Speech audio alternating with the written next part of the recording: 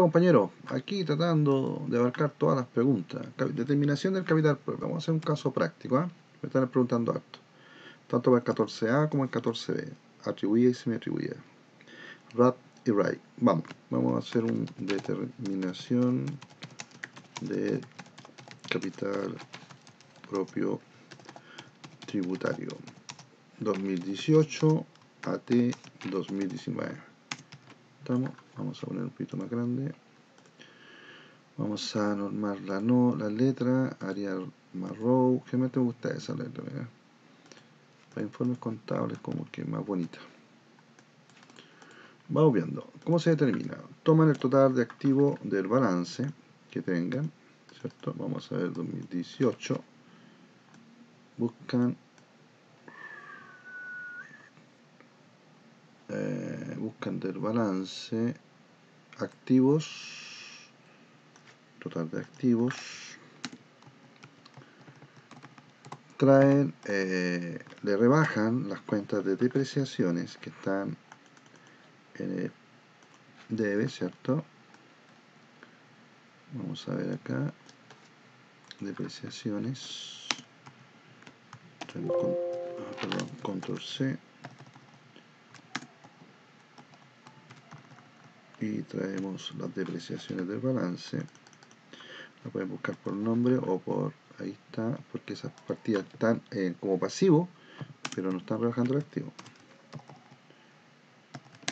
Perfecto. Después buscan partidas que pueden estar en el activo y que no corresponden. Son evaluadoras cuentas de, de pasivo.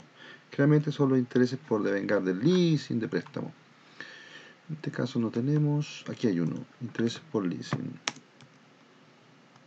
Borramos, porque está en el activo, lo voy a depurar.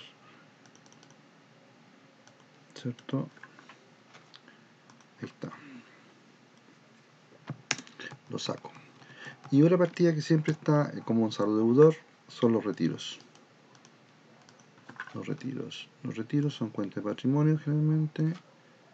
¿Cierto?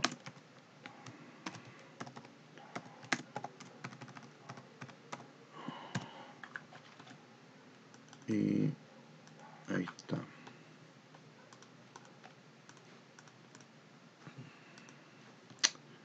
2018 retiros.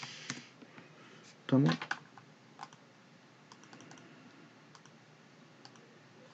aquí vamos a poner um, rápidamente cuenta retiro 2 cuenta retiro 3 cuenta retiro 4 ahí están vamos a ver.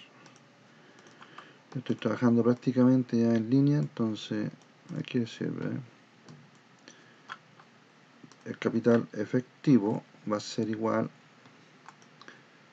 va a ser igual a la suma de archivos autoforma de mi total activo menos la depuración de cuentas de pasivos, ¿cierto? Ahí está. Control grabar. Posteriormente eh, traemos rebajamos todas las cuentas de patrimonio cierto de pasivo perdón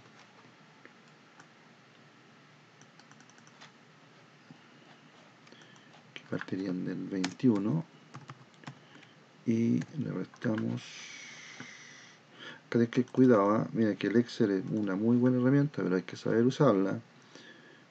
Valor de activo menos el debe. Vamos hacia abajo. Perfecto.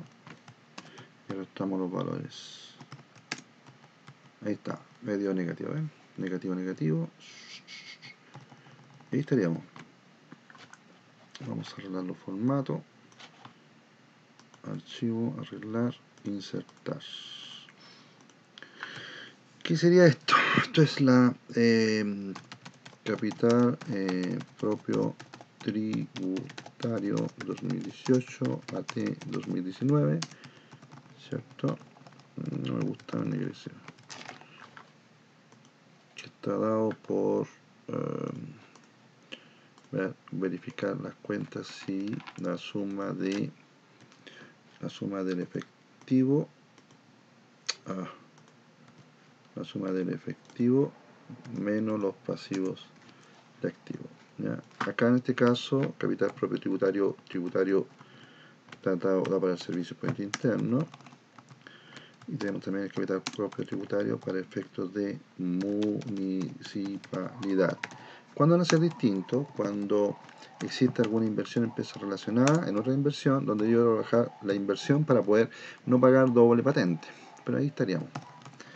Entonces acá vamos a poner eh, representante legal, ¿cierto? Y contador general.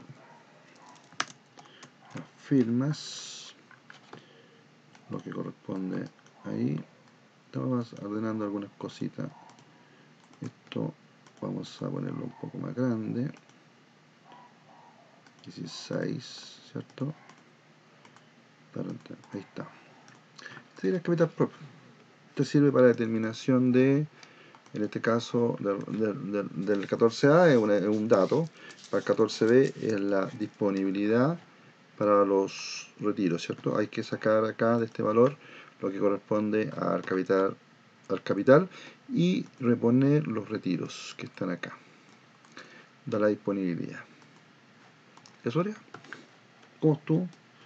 Estuvo bueno, ¿eh? Vamos a, pegarle un ajuste y grabar. ¿eh? Ah, para mis amigos que están acostumbrados a perder la información, un datito.